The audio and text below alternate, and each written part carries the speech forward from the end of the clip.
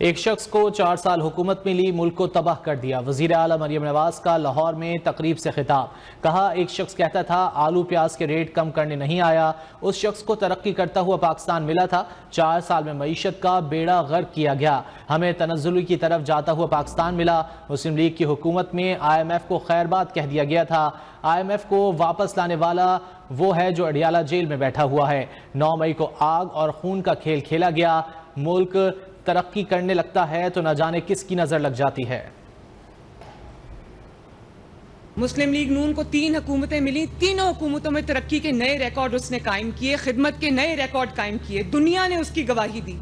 और एक शख्स ऐसा है जिसको चार साल हुकूमत मिली, उसने वो तबाही की इस मुल्क की कि जिसकी कोई मिसाल नहीं मिलती। ये जब मुल्क स्टेबलाइज होने लगता है, पता नहीं कौन सी ऐसी नज़र है जो इस मुल्क को लग जाती है? चंद अफराद का एक टोला बैठकर कोई ऐसे फैसले कर देता है जिससे तरक्की का जो अमल है या वो रुक जाता है या वो रिवर्स हो जाता है। आईएमएफ को तो नवाज़ शरीफ ने आ, वो प्रोग्राम सक्सेसफुली ख़त्म करके उसको खुदाफिज कह दिया था वापस आईएमएफ को लाने वाला कौन है?